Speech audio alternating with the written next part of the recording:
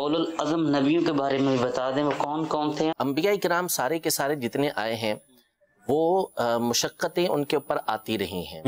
یعنی نبی کے کریم صلی اللہ تعالیٰ علیہ وسلم کا فرمان علی شان ہے کہ سب سے زیادہ جو آزمائشیں آتی ہیں وہ انبیاء کرام علیہ السلام کے ساتھ آتی ہیں۔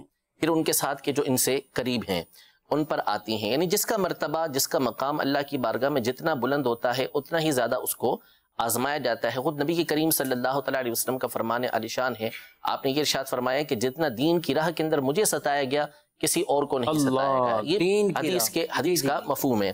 تو اولو العظم رسول کے جن کا عظم جو تھا ہمت والے تھے ان کے صبر کی طرح حضور علیہ السلام کو صبر کرنے کا حکم دیا گیا کہ فصبر آپ صبر کیجیے کما صبر اولو العظم من الرسل۔ جیسا کہ اولو العظم رسل ہمت والے رسولوں نے جو ہے وہ صبر کیا۔ تو اول العظم رسول جو ہیں ان میں خاص طور پہ پانچ ہستیوں کے نام آتے ہیں۔ نبی کریم صلی اللہ علیہ وآلہ وسلم کی ذات گرامی جو ان میں سب سے اعلیٰ بالا ہے۔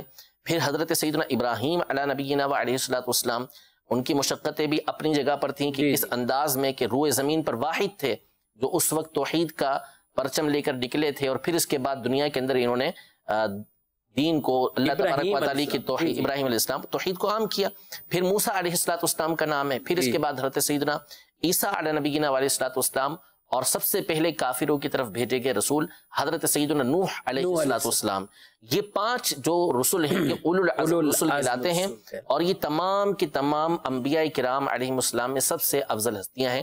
اسی ترتیب سے جیسا کہ میں نے عرض کیا ہے۔